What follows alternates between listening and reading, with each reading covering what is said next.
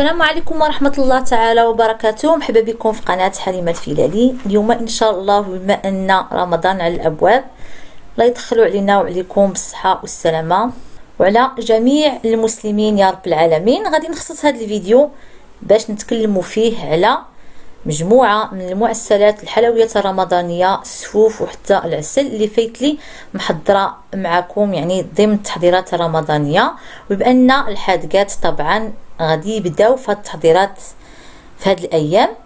فغادي نعطيكم مجموعة ديال النصائح باش ينجحوا معكم هذه الوصفات. نحاول نجاوب على العديد من الأسئلة اللي فايت طرحات في كل وصفة باش إن شاء الله الكل ينجح في تحضير هذه المعسلات وهذه الحلويات.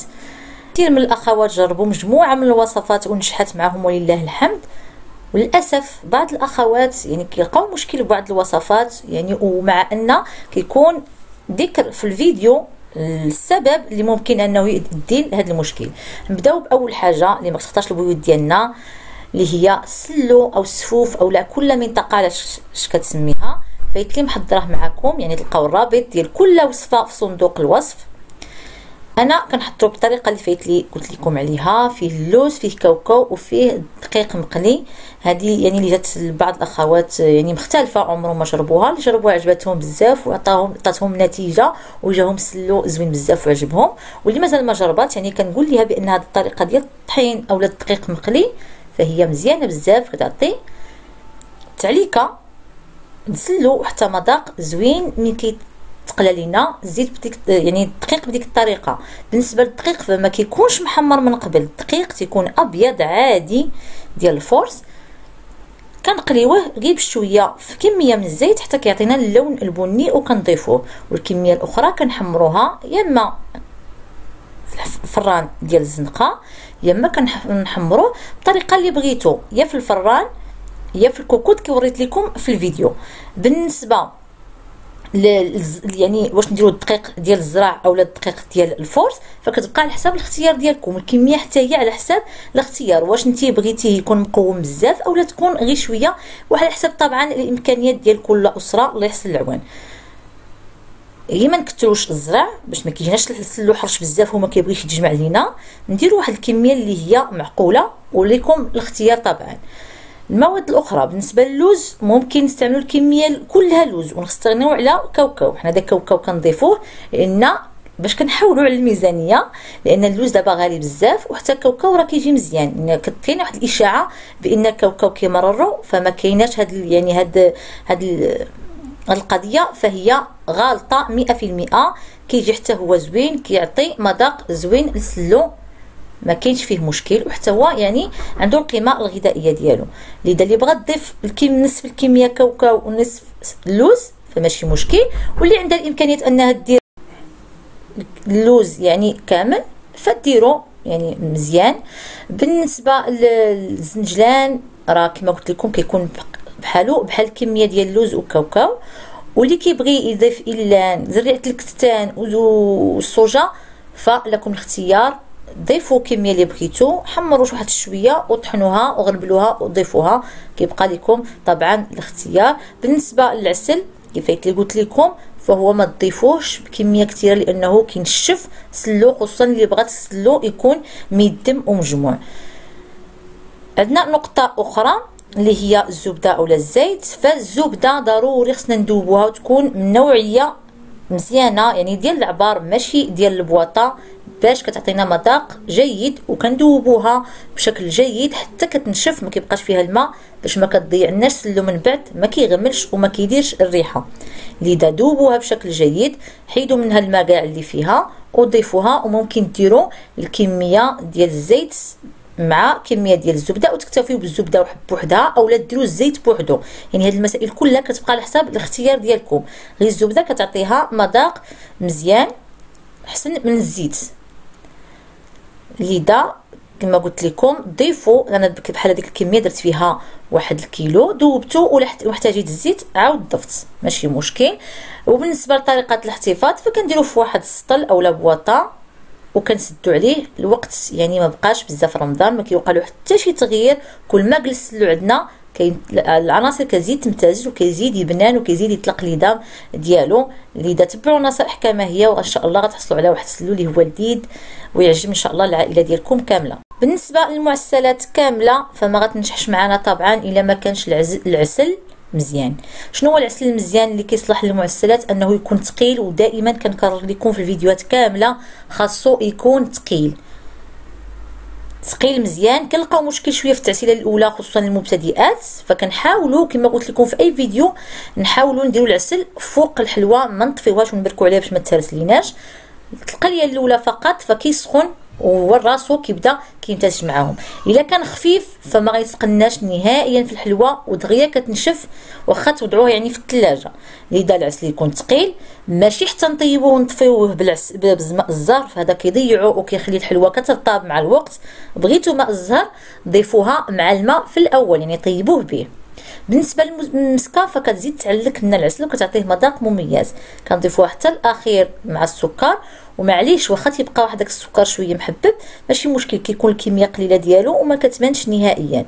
إذا العسل يكون ثقيل صنع منزلي ما تشريوش داك الجاهز. ولا كان جاهز يكون نوعية جيدة يا إما تردوه حتى هو يغلي حتى يتقال اولا تضيفوا واحد الكمية ديال العسل المنزلي اللي تكون ثقيله بزاف.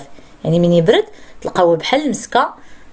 ديك الساعة دفيوه وخلطوه مع الآخر غادي يتقلوا لكم أكيد وغادي يعني ينجح معكم بالنسبة للناس اللي كيسولوا على الجليكوز واش يضيفوه حتى هو كيتقل وكيعقد العسل. إلا بغيتو تضيفوه مع العسل اللي يعني نوعية جيدة اللي كيتباع. ماشي العسل ديال اللي كيقولوا له الكليكوز اللي كيتباع رخيص في الحوانت يعني وعند البقال فكي يعني ديري واحد المجهود وجدي شباكيه أولا بريوة. وغادي يعني غتخسري داك المجهود هباء منثورا دغيا غادي تنشف لكم المعسلات ديالكم. والإشكالية اللي كطرحات بزاف بالنسبة للعسل هو التوقيت لأن ملي كنقولوا 40 دقيقة اولا 45 دقيقة اولا حتى 35 دقيقة فكيبقى الفرق بين النار واش مجهدة ولا متوسطة ولا ناقصة. يعني بعض الأخوات كيجيهم ثقيل بزاف بعض الأخوات كيجيهم خفيف فاذا جاك خفيف رديه ما كاينش مشكل رديه للنار حتى كيعقد. يعني خليها محلولة وبدا كت يعني كتخليها كتنشف حتى كتصلي على النتيجة اللي بغيتي. من الأحسن وجدوه قبل باش لقيتوه ثقيل اولا خفيف كتعاودوا تصلحوه لأن ما خصكمش تطفيوه به هو سخون. لقيتوه عاوتاني ثقيل بزاف ضيفوا له كمية من, الماء وخليوه يغلي. صافي كيغلي كيكون مزيان راه ما كيدع ما كيوقع له حتى شي حاجة. هذا بالنسبة للعسل. واهم هاد المعسلات هي الشباكيه اللي فايت منزله لكم في القناة شباكية ناجحة 100% كتجي هشيشه ومعلكه في الوقت الوقت الجديدة. مجموعة من الأخوات يعني جربوها ونجحت معاهم وعجبتهم بزاف إلا بعض الاستثناءات اللي كتهرس ليهم. وكيف قلت لكم في يعني في واحد التعليق اللي هو مثبت الأخوات المبتدئات اللي غيلقاو مشكل في التعسال لانها كتكون هشيشة في الأول مع حدها سخونه ملي كتبرد كتجي هي هذيك والعسل كيكون ثقيل اللي ملي كتوضعيها وكتحاولي تضغطي عليها فهي طبيعة الحال غادي تهرس لك. اذا ما عندكش خبرة في التعسال وخفتي تهرس لك نقصي من كمية ديال الخل. الخل هو اللي كيهشها. لذا أنا دايرة لكم نص كاس غير مملوء. انتي ديري واحد تقريبا واحد الربع الكأس زايد واحد شوية فقط باش ما تلقايش مشكل في التعسال ديالها وتهرس ليك. هذا بالنسبة للشباكية. العسل خصو يكون ثقيل نرققوها. ما تكونش قاصحة بزاف لأن بعض الأخوات يقول لك راها كتشتت لينا بغات تجمع هذيك كتكون قاصحة بزاف. تكون عادية مجموعة مجموعة في اليد ديالك وفي نفس الوقت يعني تطحنوا جميع المكونات وتغربلوها بشكل جيد باش ما تقطع لكمش العجينه في الخدمة. الخطأ اللي كيديروا الأخوات ما كيغربلوش الزنجلان ما كيغربلوش النافع. يعني والقرفة فكتبقى كتقطع عليهم نطحنوا هذه المسائل ديال المكونات كاملة بشكل جيد وجمعوها يعني بالمواد اللي هي الخل والزهر يكونوا سخانين باش كتجمع لكم بسرعة. بالنسبة للأخوات اللي كيبغيو ما يعجنوا يعني ما يقليوهاش في نفس اليوم فما كديروش الخميرة ديال الخبز كتكتفيو غير بالخميرة ديال الحلويات وكتديروها يعني حتى كتكملوها بالتشباك كتخليوها تنشف واحد شوية. وكتغطيها بواحد البلاستيكة عاد بمنديل وتبيتوها حتى لا غتلي ما كيوقع ليها حتى شي حاجة. وبالنسبة ملي كتقلى مباشرة كنوضعوها في بواطة وندخلوها للمجمد باش كتبقى لنا مدة طويلة بزاف وهي عندنا محتفظين بها يعني بنفس الجودة كتبقى مزيانة 100% اللي ما عندهاش مكان في الثلاجة يعني في المجمد توضعها في الثلاجة ما تخليوهاش على برا لأن سخون الحال فكتغيا كتقص تت... ما كتبقاش كما هي يعني عاد صوبتيها لأول مرة. اذا يا إما المجمد يا إما الثلاجه وبالنسبة للشباكية راه واخا تكون عندكم المقادير وما يعني ما طبقتوش هاد النصائح كاملة اللي عطيتكم فما غتنجحش معكم يعني ممكن اللي درتوها في زيت باردة تحل لكم في القلي. إلا يعني خليتوها قاصحه غادي ما غادي تبغي تجمع لكم. يعني مجموعة ديال النصائح حاولوا تتبعوها خصوصا للمبتدئات باش تنجح معكم لأنها ناجحة 100% ما كنعطيكمش وصفة إلا كتكون ناجحة وخصوصا هاد الشباكية والبريوة يعني المسائل اللي كنت أنا كنخدمها يعني دائما كنخدمها في الكوموند وكنعطيها للناس وكتعجبهم بشكل كبير يعني وكتكون مطلوبة. لذا فهي ناجحة تبعوا النصائح حفاكم باش تنجح معكم دابا غادي ننتقلوا لمعسله أخرى. اللي هي البريوات ديال اللوز اولا ديال الكاوكاو. يعني بجوجهم حضرتهم معكم. في القناة. غنحط لكم كما قلت لكم الروابط في أسفل الفيديو إلا بغيتوهم. بالنسبة للبريوة اللي هي هذه اللوز اللي حضرت معكم السنة الماضية. طبعا تبعوا نصائح البريوة الورقة تكون رقيقة وتكون مزيانة. العقدة تكون مطلوقة ما تكونش قاصحة باش ما كتجيناش. البريوة قاصحة. نقليوها في زيت يعني ساخنة ونقصوا العافية مزيان باش كتقلع على خاطرها وكتقرمش من داخل ومن برا. الا جاتكم قاصحه عرفوا إما الورقة كتكون خايبة من برا. إما الورقة خايبة إما ما عطيتوهاش الوقت وكتبقى كتجي رطبه من داخل ومن برا كتقصح. لذا تبعوا النصائح كما هي ديروا عقدة اللي هي مرخوفة ماشي مشكل واخا كتكون مرخوفة ماشي بحال الكعبة. ديروا المكونات كما هي الزبدة ماء الزهر المسكة الحرة يعني والسكر والمسائل الأخرى كاملة. ما ديروش القرفة لأنها كتغير المذاق نهائيا ديال اللوز مع البريوة ومع الكعبة. اكتفيوا بالمقادير اللي درت لكم. قليوها كما قلت لكم بشكل جيد. بالنسبة للأخوات اللي كيبغيو يحتفظوا بها حتى كيقرب رمضان عاد كيقليوها ممكن. هي من الأحسن قليها وتناي وديريها في بواطة فرقي كل طبقة وطبقة بال film alimentaire أو البلاستيك الغذائي. وخليها وكل مرة جبدي واحد الكمية اللي دوز لك واحد المدة ديال 3 أيام 4 أيام حتى 5 أيام وخليها في الثلاجه لتحت. كتبقى مزيانة قابطة العسل خصوصا إلا درتو عسل بشكل جيد يعني عسل اللي هي خاسرة كتكون ناجحة 100% كثير من الأخوات سولوني على الورقة صنع منزلي اللي حتى هي حضرتها معكم في القناة. فأنا ما كنبغيش نقول لكم في فيديوهات ديال الوصفات اللي كتقلى بأنكم ديروا منزلي علاش؟ لأنك إلا ما درتيهاش بشكل صحيح. يعني أنا كنحضر بها البريوة وكتنجح لي وإنما كنديرها رقيقة كما كتشوفوا معايا في الصورة. كتكون ورقة لي رقيقة وما كتكونش غليظه وما كنغطيهاش بالبلاستيك وهي مازال سخونة اولا بشي حاجة باش ما كتعرقش معايا. فوا كتعرق وكندير بها وكنبغي نقليها كتبقى كتقطع. لذا إلا ما توفرات لكمش الورقة ديال البرا ديروا ديال المنزلية وإنما عافاكم تبعوا النصائح باش ما تضيع لكمش المجهود ديالكم. يعني حتى كتحضروا البريوة تبغيو تقليوها وتبقى كتقطع لكم فراها كتصلح. كما قلت لكم شرط أنها تصاوب بطريقة صحيحة. وهاد السنة حضرت معكم البريوات ديال اللوز على شكل السيجار والفرق كان بسيط فقط أنني النص درتو مقلي والنص درتو ما مقليش. يعني ممكن تحضروا البريوات المثلثين بنفس الطريقة. العجينة كما قلت لكم اولا العقدة تكون مرخوفة ونتبعوا النصائح. غادي تنجح معكم حتى هي.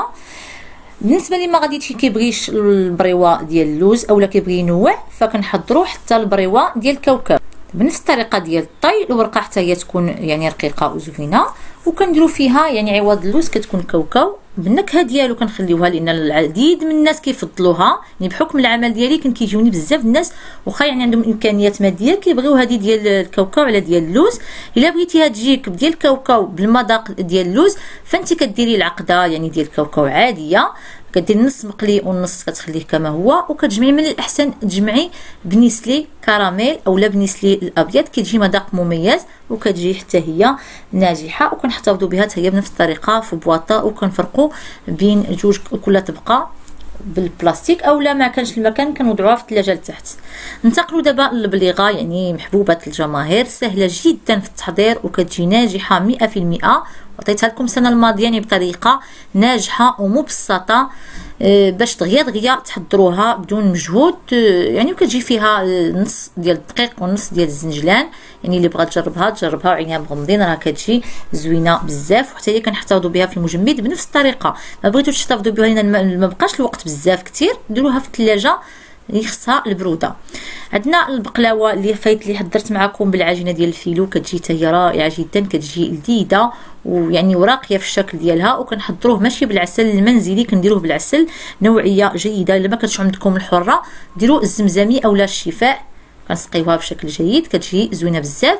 الأخوات اللي سولوني واش نديروها بالورقة البسطيلة ديالنا العادية فما كتجيش نفس النتيجة ديال الورق ديال الفيلو. هي اللي ما توفر لكمش الورقه البسطيله بنفس الطريقة ونفس الكيفية كتجي تقريبا بحال المحنشة في المذاق وفي الشكل ديالها. وبالنسبة للاحتفاظ ف أكيد كنأكد لكم أنكم ممكن ديروها في المجمد. بعض الأخوات قالوا بأن هاد الفيلو ملي كنجبدوها من المجمد فما كتبقاش مقرمشة. بالعكس كتبقى كما هي يعني مباشرة من المجمد. خليوها غير ديكونجولا ما تسخنوها ما حتى حاجة. كتبقى جيدة ومقرمشة بنفس الجودة ما كيوقع ليها حتى شي تغيير. دابا ننتقلوا يعني المعسلات الاخرى بحال هاد الفراشة.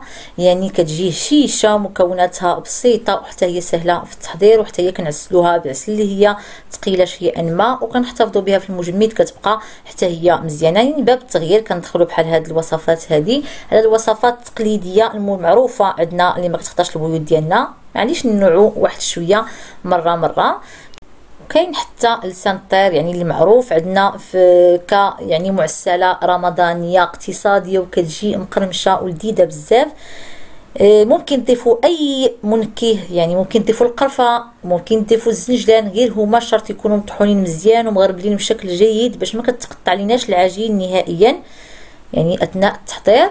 لذا بغيتو تضيفوا من غير السكر الفانيلا ضيفوا اللي بغيتو نافع أولا قرفة أولا زنجلان غير شرط يكونوا مطحونين مزيان وحتى هي كنحتفظوا بها في المجمد بنفس الطريقة. حتى هي كنديروا طبق كنفرقوها طبقات وكندخلوها المجمد أولا تحتفظوا بها في الثلاجة لتحت. إلا كنتو غادي توجدوها يعني قريب لرمضان اقتصادية وسهلة في التحضير وما نساوش المقروط في الفرن صحي وكيجي شيش وسهل جدا في التحضير حتى هو واقتصادي هذه هي مجموعة ديال المعسلات والحلويات الرمضانية اللي محضرت معكم. كنتمنى هذا الفيديو يكون نال الاعجاب ديالكم. جميع الروابط إن شاء الله تلقاوها في صندوق الوصف. يعني باش ما ضغطوا ما لقيتوش ترجعوا لهذا الفيديو تلقاو جميع الوصفات. تحضروها بالطريقة الصحيحه طبعا إن مجموعة من الأخوات حضروا ولله الحمد عجباتكم نالت الإعجاب ديالهم كيرسلوا لي الصور ديال التطبيقات ديالهم وكيفرحوا عائلتهم كيفرحوني حتى أنا طبعا معاهم.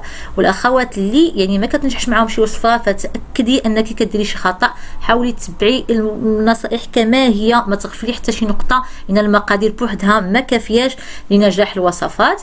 كنتمنى نكون دائما عند الحسن الظن ديالكم. رمضان مبارك سعيد أي استفسار آخر فأنا في الخدمة طبعا.